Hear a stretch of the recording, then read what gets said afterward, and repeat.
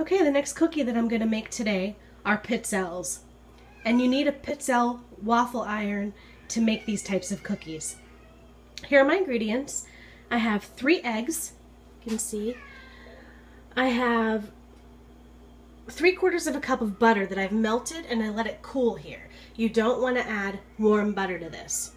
And I have sugar, flour, baking powder, and vanilla. A lot of people add um, other flavorings to it. I like my pizzelles just vanilla. I'm going to start by creaming together the butter and the sugar. I'm going to add in the rest of the ingredients after that. Here's our batter. And you can see that it's a nice color, yellow color. And it's sort of a thicker batter. It's like, not sort of, it is a thicker batter.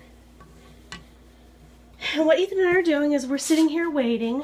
Uh-oh. What's wrong? Found your arm. yes. We're sitting here waiting for our waffle iron to heat up. And once it does, I'm going to put about... Mommy. Oh no, it's a crisis. You need help? Yeah. Are you better now, Super Ethan? Yes. Good. Okay, whenever this is all heated up, I'm going to take about a tablespoon or a tablespoon and a half of batter, put it slightly behind the center of the waffle area, the pizzelle area. This is hard to see in here. Uh, there we go. I'm going to put it slightly behind the middle, so right back in there. Because when I close the waffle iron, it's going to smush things to the front, and that'll give me a better design. So the trick to pizzelle making is to know when to open up this pizzelle maker. And you can see I have a super old pizzelle maker. My mom gave it to me. It's from the 70s. And I first I used it for the first time maybe about a month and a half ago. And um, still really just getting the hang of it. But from what I've learned so far is you have to let all of the steam escape. So you'll see little little bits of steam come out. Once that's done, then you can take a peek. Oh, looks like they're good. So then I'm going to use a fork and help ease it off there. And then I'm going to remove it to my rack.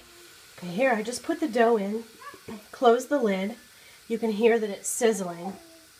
And I don't know if you can see it, but there's moisture escaping in the, the form of steam. And whenever that stops sizzling like that, give it a couple more seconds, open up the lid and see if it's a golden color. So pizzelle making is something where you need to have patience. I can you can only do two at a time, and you can't rush it. Um, so it's been in here for maybe about a minute. Let's take a peek.